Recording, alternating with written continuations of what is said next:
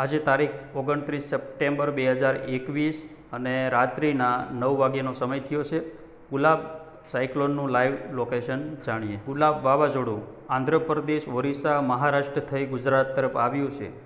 હાલ તેની સ્પીડ ઘટી ગઈ છે એટલે કે હવે તે ગુજરાતમાંથી પસાર થઈ રહ્યું છે, પણ ડીપ ડિપ્રેશનમાં ફેરવાય ભારેથી અતિભારે.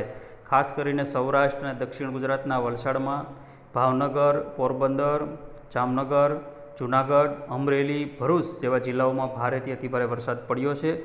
તો હજુ પણ વરસાદ પડે તેવી સંભાવના, ખાસ કરીને આણંદ જિલ્લો અને વલસાડ જિલ્લામાં પણ વરસાદ પડી શકે છે.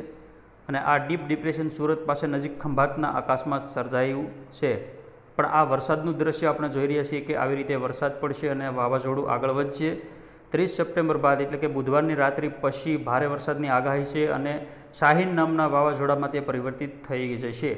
આવતી પહેલી તારીખ સુધીમાં તે પાકિસ્તાન તરફ ફંટાઈ જશે, પરંતુ અસરરૂપે ગુજરાતની અંદર, ખાસ કરીને સૌરાષ્ટ્રમાં અને દક્ષિણ ગુજરાતમાં, ભારે વરસાદ પડી શકે છે. તો આ લાઈવ તમે જોઈ રહ્યા છો કે ગુજરાત ઉપર ગુલાબ વાવાઝોડાની અસરના કારણે વરસાદનું તાંડવ. અને અહીં બીજું એક પણ વાવાઝોડું સામે તમે જોઈ રહ્યા છો કે દેખાઈ રહ્યું છે. જે વાવાઝોડું, ખાસ કરીને આપણા તરફ આવવાનું નથી. આ વાવાઝોડું જે છે એની દિશા અલગ છે એટલે આપણને કોઈ ખતરો નથી.